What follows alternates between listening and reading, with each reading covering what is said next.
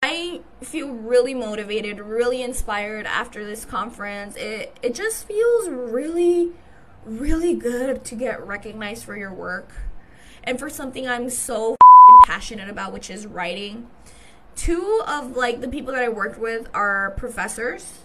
Um, and they were asking me if it was okay for them to use my scene or like the 10 minute play to teach their students.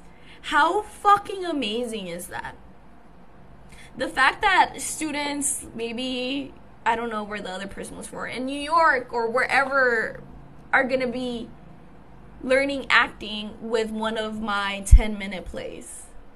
I I am in awe. I am so fucking grateful for this opportunity and we'll see where it takes me, dude. We'll see where this where this play fucking takes me and I know it'll take me far. I have a feeling. It's just a gut feeling, but we'll see.